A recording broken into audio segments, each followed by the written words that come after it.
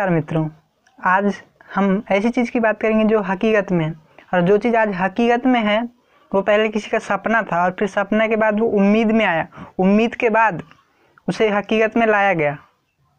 चलिए फ्रेंड्स, मैं इसी बात को एक छोटी सी कहानी के माध्यम से समझाने की कोशिश करता हूँ।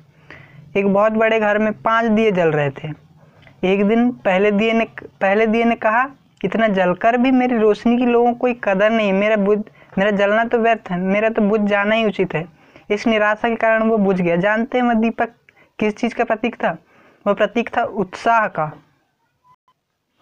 यह देख दूसरा दिया जो कि शांति का प्रतीक था, वह भी कहने लगा, मुझे भी बुझ जाना चाहिए, क्योंकि लोग इतनी, मेरे शांति के निरंतर जलते हुए भी लोग इतनी हिंसा कर रहे हैं। यह देखकर दूसरा दिया भी बुझ गया। उत्साह और शांति के दिए के बुझने के बाद जो तीसरा दिया था हिम्मत का वह भी अपनी हिम्मत खो बैठा और वह भी उत्साह, शांति और अब हिम्मत के दिए के बुझ जाने के बाद भी चौथे दिया, चौथा दिया जो कि समृद्धि का प्रतीक था, उसने भी खुद को बुझा लेना ही उचित समझा।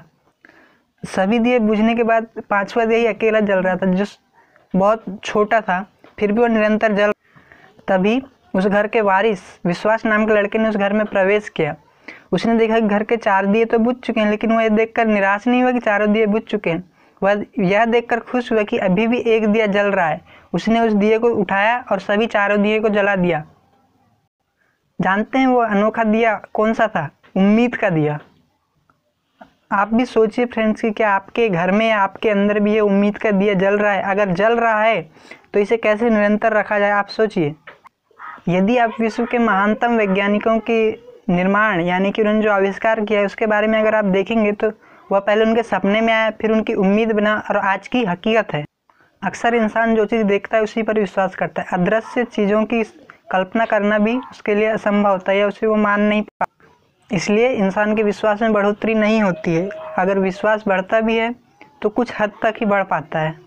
उदाहरण के तौर पर अगर हम राइट्स ब्रदर्स को ही ले लें तो उन्होंने उम्मीद की थी, अगर पंछी उड़ सकता है तो इंसान क्यों नहीं? ये उनकी उम्मीद थी। तो उन्होंने भरकस प्रयास किया, बहुत सारे प्रयोग किए, उसके बाद हवाई जहाज़ का आविष्कार किया।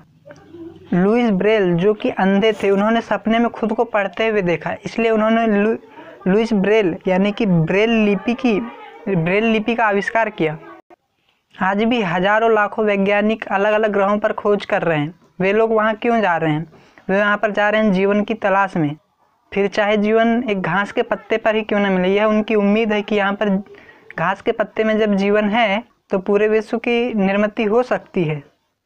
यकीन माने नव निर्माण यानी कि आविष्कार करने की ताकत सिर्फ़ मनुष्य के पास ही है। जब इंसान भरोसा करता है तो वह बात उसकी वाणी में झलकती है और वाणी से वह कर्म में उतरती है, जो कि उम्मीद की ताकत को बढ़ाती है। इसलिए उम्मीद के दिए को छोटा या छोटा या कमज़ोर ना आका जाए। उम्मीद के दिए से ही उत्साह, समृद्धि, शांति और हिम्मत का दिए प्रकाशमान होता है। अगर हमें भी किसी चीज़ को हकीकत में लाना है तो पहले उसे सपने में देखना पड़ेगा, फिर सपने के बाद वह उम्मीद बनेगी और उम्मीद के बाद हम उसे हकीकत में ला सकते हैं। धन्यवाद।